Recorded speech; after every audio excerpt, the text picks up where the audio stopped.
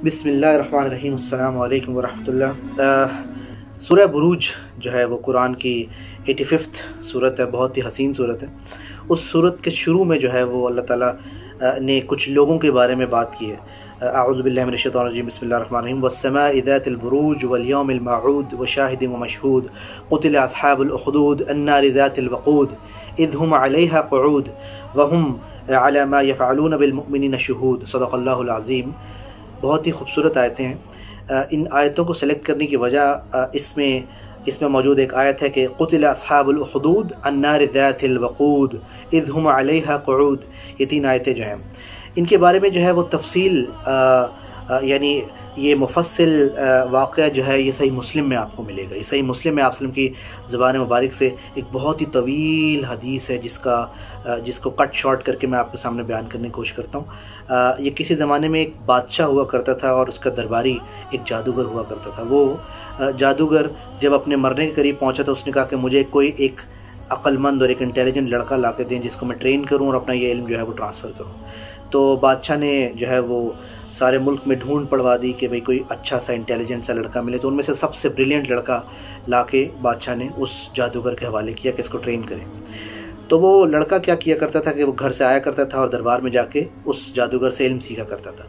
रस्ते में यानी उसके घर से दरबार तक के रास्ते में एक जंगल पड़ा करता था जिससे वो क्रॉस किया करता था। उस जंगल में एक राहिब बैठा करता था, यानी मोंक बैठा करता था, जो कि जो कि इल्म हमत की और यानी अल्लाह पर तवक्ल की, अल्लाह की अल्लाह ताला की वहदानियत की बातें जो है वो उस लड़के से किया करता था। वो लड़का घर से दरबार जाते जाते रास्ते में उसके पास बैठा करता था और उसकी बातों से बहुत फैसिनेट होता था।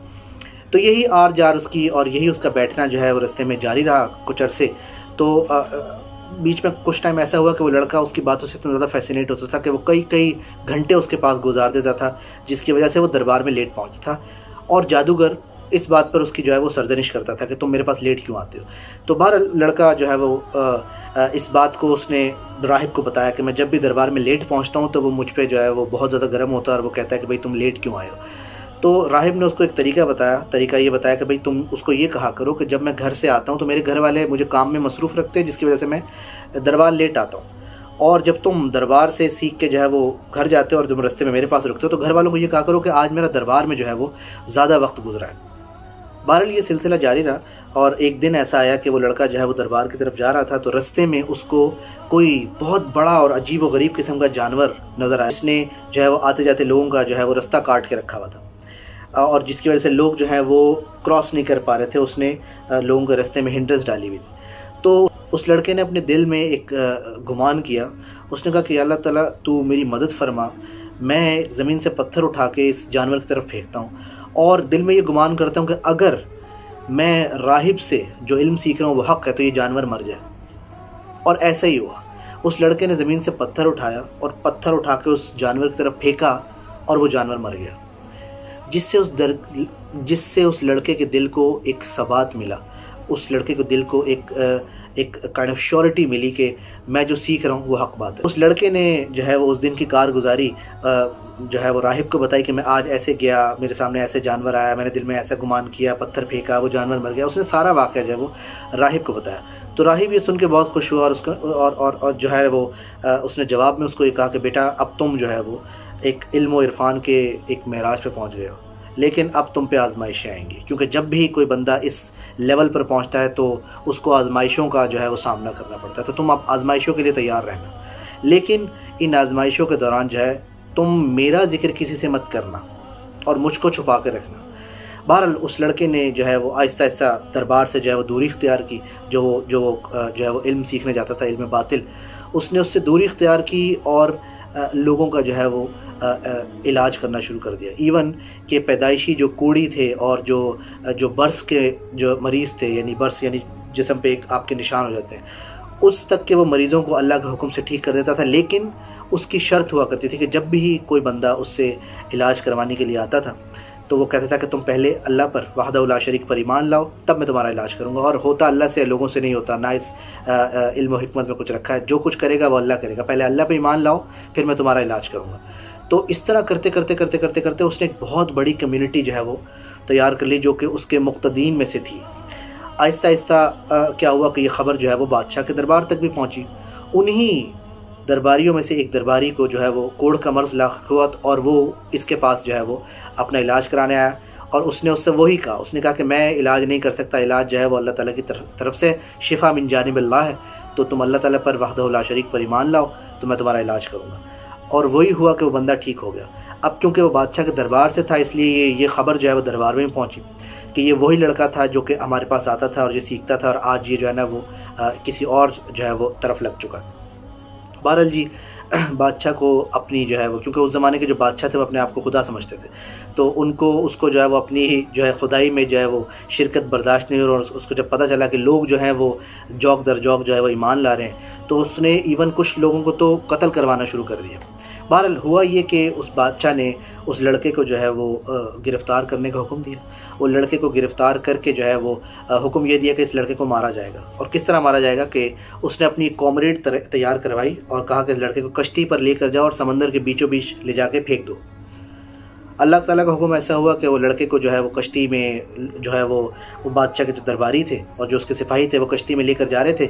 रस्ते में जो है ना वो कश्ती ने हिचकोले खाए, समंदर में तूफ़ान आया और वो कश्ती जो है वो उलट गई। लड़के को कोई तख्ता मिल गया, लकड़ी का, वो लकड़ी के तख्ते पे जो है वो तैरता तैरता किनारे पे आ गया, बाकी सब लोग डूब गए और वो दरबार में गया। बहरहाल बादशाह को उसने ये बताया कि तुम मुझे नहीं मार सकते, मेरे साथ मेरा रब है। तो फिर बादशाह ने कहा कि इस लड़के को पहाड़ की चोटी पर ले जाओ और वहाँ से जो है वो धक्का दे दो। बहरहाल वो लड़के को पहाड़ की चोटी पर लेके गए पहाड़ में जलजला आया सब लोग मर गए वो लड़का जो है ना उतर के पहाड़ से फिर दरबार में चला गया और कहा कि तू मुझे नहीं मार सकता।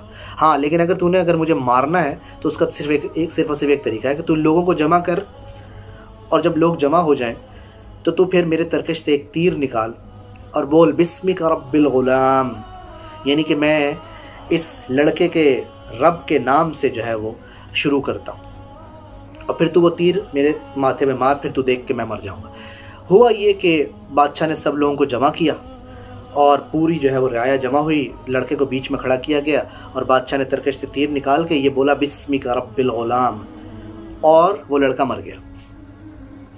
जब ये लोगों ने देखा कि इस लड़के का तो कोई रब है और इस, क्योंकि ज़ाहिर खबर पहुँच चुकी थी कि लड़के को मारा गया, समंदर में तो नहीं मरा पहाड़ पे ले ले जाया गया तो नहीं मरा।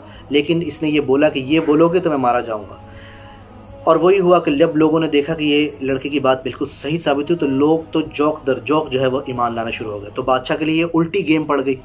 वो उसको जो है वो मारना चाहता था और इस वजह से कि लोग जो है वो उस पर ईमान ला रहे और लोगों ने ये वाक़ देख के मज़ीद जो है वो ईमान की तरफ़ रागब हुए।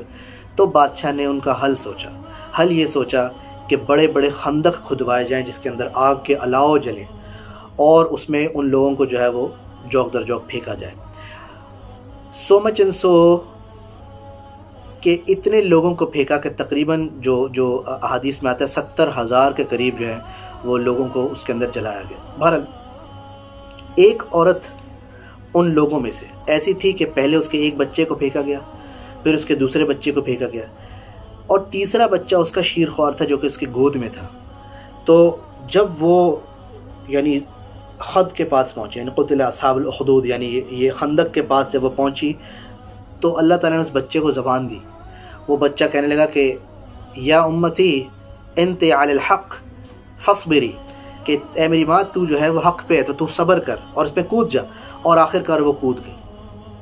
ये है वो वाक़ जो असहाबुलखदूद के बारे में सुबहान अल्लाह सुबहान अल्लाज़ीम ईमान के लिए लोगों ने किस किस किस किस लेवल की जो है वो कुर्बानियाँ दी हैं। तो किस कदर हसीन और किस कदर अजीम वाक़ है।